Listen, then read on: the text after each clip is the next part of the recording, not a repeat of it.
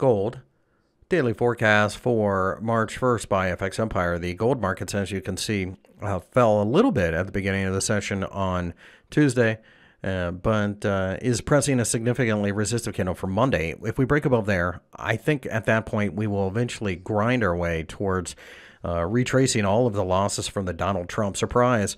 Pullbacks will be supported. There uh, is a convergence of the major moving averages about to happen. And if we do cross over, like we have in silver, uh, this market should go higher. No interest in selling